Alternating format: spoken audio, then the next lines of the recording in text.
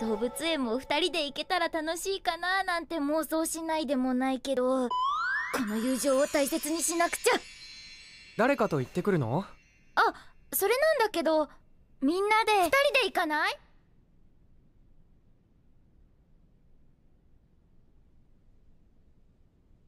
あ。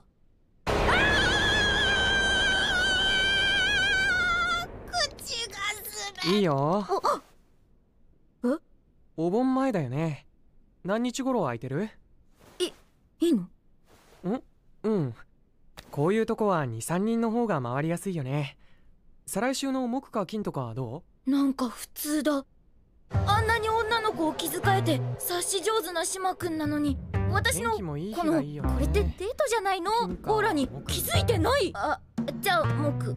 もしかすると島くんにとって私って。二人で遊び？オッケーこんな感じに映ってるのかもしれない。